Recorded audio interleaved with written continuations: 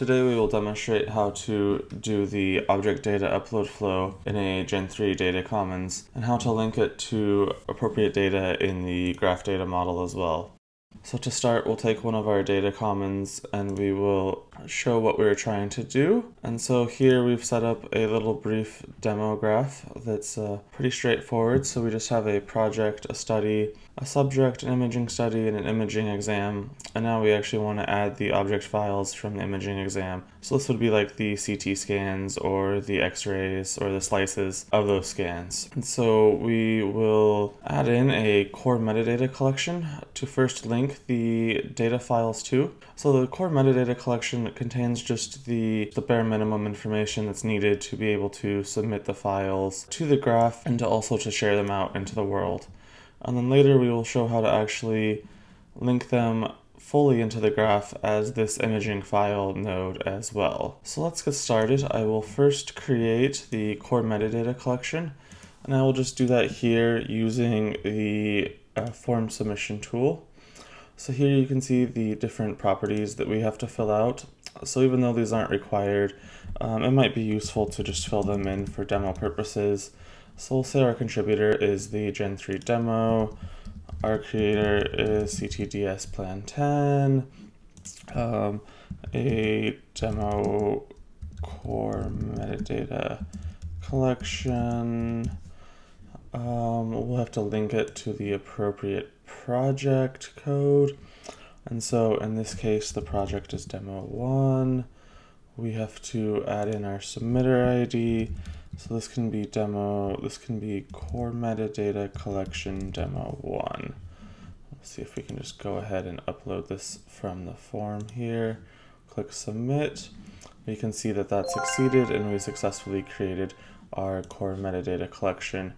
And so now if I look at the graph, you can see that we have a new core metadata collection here. So now I will start the process of actually uploading the data files. And so to do that, we actually need to use the Gen 3 client. So the Gen 3 client is used when you're trying to download files from a data commons or upload files to a data commons and it's used so that you can more efficiently move data outside of a browser and so that you can resume downloads um, and those sorts of things.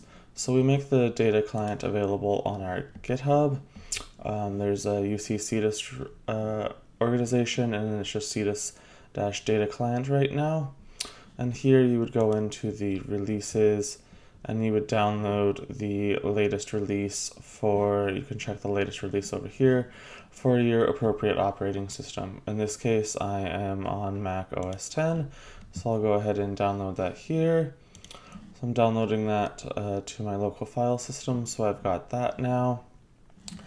And so now I can go ahead and unzip that in the uh, downloads folder here. So I'll just do that. And so now you'll see I have a Gen 3 client executable here. So that's one step. And then the next thing that we need is our credentials. So we have to have credentials that we can load in to the data client so that we can actually um, use it in an authenticated manner against the data commons. So I'll go back to the data commons. I will go to profile. I will go to create API key. This creates a, the API key that we need. In this case, I will download JSON. So this is going to download a credentials.json file for me as well. And so if we go back and look at our file system again, we will see that here now. So now we have the credentials.json file. Great. So now we will actually upload the data. And so to do that, I will switch over to the terminal. And the first thing we need to do is actually to configure the Gen 3 client with our credentials.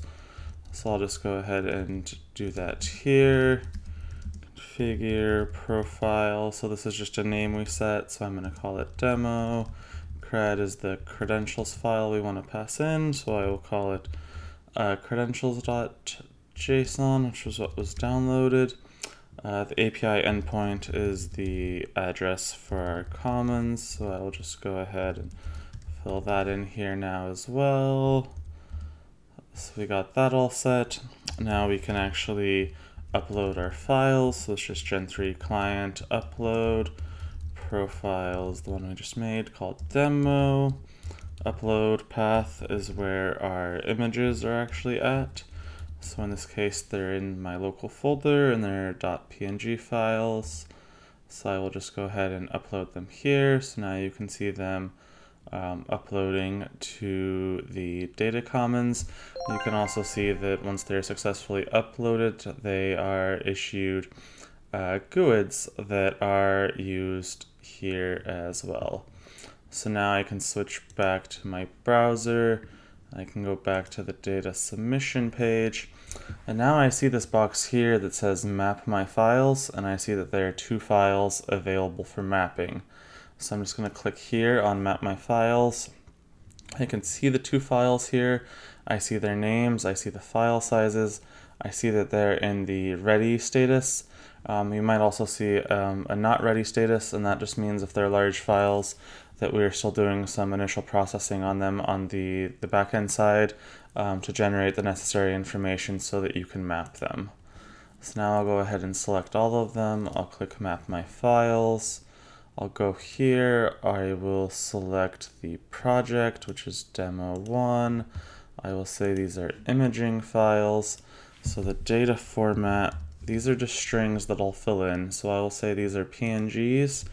And then I will say that these are body scans, for example. Um, you know, the data category is free text. You're supposed to fill that in as you sort of desire. Um, if you were doing x-ray slices or CT scans, you could fill that in as well. So now we want to select our core metadata collection to link them to.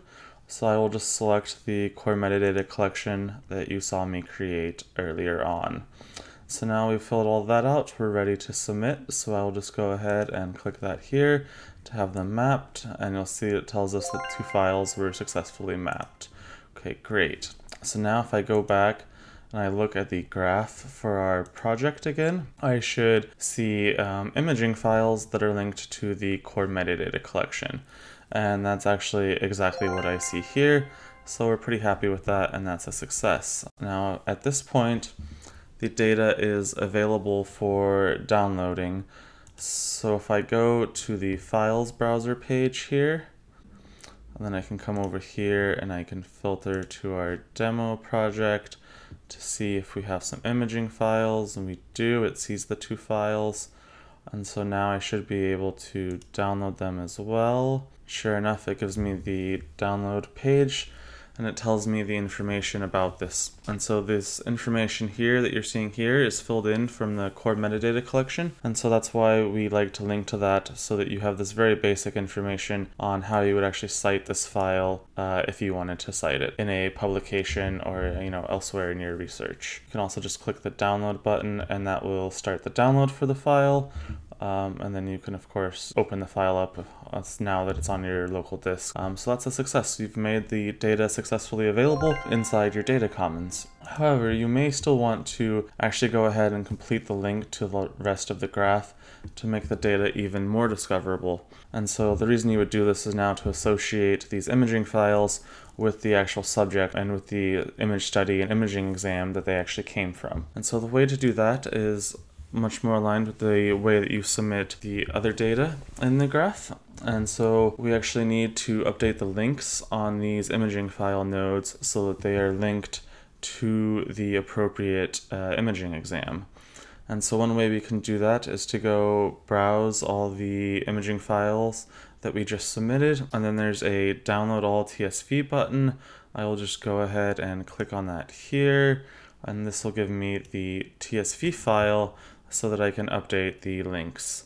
So now we have that file saved. I can go ahead and open that and so you can see here uh, I just opened the file in TextEdit here so you can see sort of what's in it, but actually it's a little bit difficult to edit TSV files in TextEdit, so I will actually open it in Excel so that we can edit it and add in the link to the imaging exams. So now I've opened the file up in Excel here so that you can see it a little bit better so that it's easier to see all the columns so you can see the information that was filled in here. Um, it includes the information we entered in the form and also includes the file size and the MD5 sum, the hash that was computed on the back end. We have the data GUID here as well.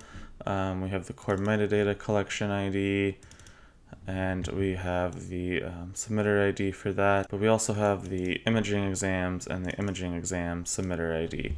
So in this case, I can go ahead and fill this in based on the submitter ID I used in creating the graph uh, node for the imaging exam. So I will go ahead and look at what I did for that here, and I will see that I called this demo imaging exam one. So I'll actually just copy that and then go over here again to Excel and I will paste that in. So I go ahead and do that. So now we've updated our TSV file. Can just save this. So now I can go back to our project, our demo one project. This time I can upload a file. I will pick the TSV file I just updated um, and the, the imaging um, files. And so here you can see that it did um, save the submitter IDs, and I noticed I just made an error when I was using Excel um, and hit auto-filled and it incremented the um, imaging exam ID. So I'm just going to correct that here um, in the display. And I'll go ahead and submit this and hopefully it'll work. And it did. It's successfully updated those two entries in the imaging file. And so now when you look at the graph, you'll see that our imaging file is linked both to the core metadata collection as well as to the imaging exam. So now this data is available to be searched for in uh, both fashions. You can find the files via the core metadata collection, but you can also find them by searching by subject and then associated uh, imaging files.